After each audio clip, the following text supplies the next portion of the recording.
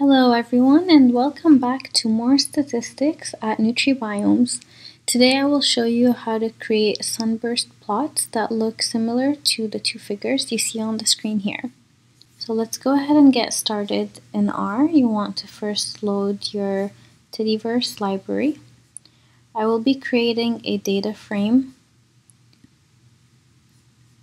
If we visualize this, you'll see that there are three columns. The first is for the individual or species, and these are distributed across four different groups A, B, C, D, each having a specific value. Now, I don't want to run this just yet, and I will show you why in a second.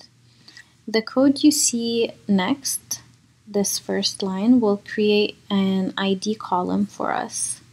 So if I go back to my data frame, you'll see a new column, column number four with our ID values. And then I want to go ahead and create two new variables that would reflect the angle that you saw in that sunburst plot. So it would set the data to uh, distribute evenly across our values to reflect that angle that we saw. And similarly, we do see those two new variables listed here in our data frame. Now I want to go ahead and set the colors of the bars that I want to appear in my plot. And I got these colors online. You can search for any color or palette or theme that you that you like. So each color is now associated with our groups, our four four level group. This line I will save for later as well. So then if we go ahead and, and run this massive chunk of code here, you'll see the preliminary version of, of the sunburst plot appear. Now, if you recall, what I had shown you was an ordered uh, fashion in which the bars were presented in the final sunburst plot that I had. And this is actually that line that I had skipped earlier, that line of code. And I just wanted to show you how it would look like without it. And now I'll show you how it looks like if we do run this code before everything else.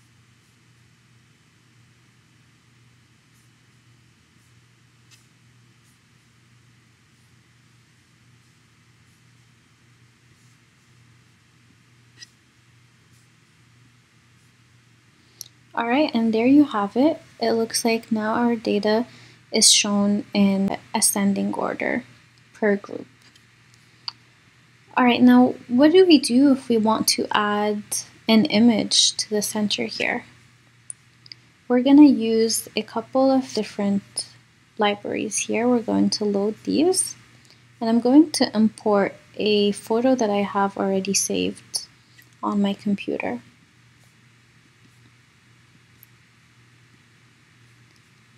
So my photo is now imported and I can use the insert underscore element command to read this photo that we called world into our plot.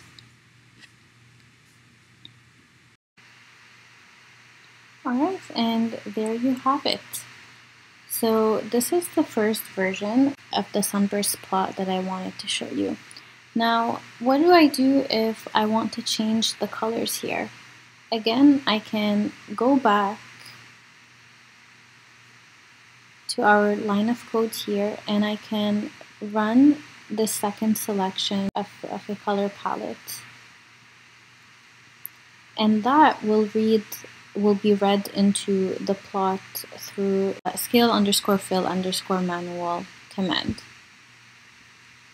Now what I can do as well is I can remove the specification of not having a legend if we do want a legend. And let's see how that looks like. And this is how it looks like with a legend and with a different color palette.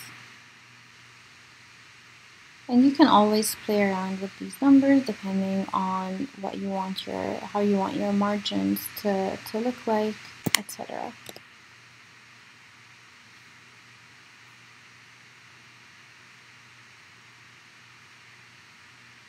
Okay, now I do have another world map similar to the one we had below, but it just matches the theme better. It's, it actually looks like this color right here and this theme um, I chose purposefully to help give that an overall uh, visual of everything coinciding and fitting together. So let's load that in. Similar commands to what we used before.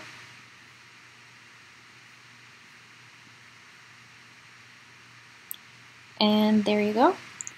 So now we've got two images with different color palettes, different figures that have been inserted on top of our sunburst plot.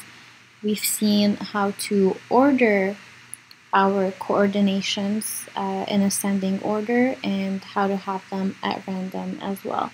Now, one final note I will mention is that once you go ahead and review this code, this looks like a lot. The main difference where you can have this type of ascension and polar coordinations is actually through this command right here. And what I encourage you to do is to try and, and look at what happens when you remove each line from this command and see how you like it best and what you want to do with it. Alright, so that was it for today. I thank you so much for watching and stay tuned for the next one.